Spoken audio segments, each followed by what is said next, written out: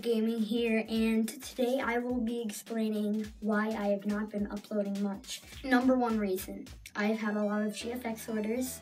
Some of them are from fairly big YouTubers, and you know, I've been working really hard on those. Number two, I've been kind of sick. Right now, I have a headache, and yeah, so that's basically it. Of course, my GFX will be coming up on screen in a second, so if you want to look at that. And of course, I urge you to order your own GFX down in the description. Tap the link in the description and order your own GFX. It should be ready soon. And yeah, just read all the details perfectly because I've had some problems with people not knowing how to fill it out right. So yeah, hope you guys enjoy and hope you like this GFX coming up on screen now.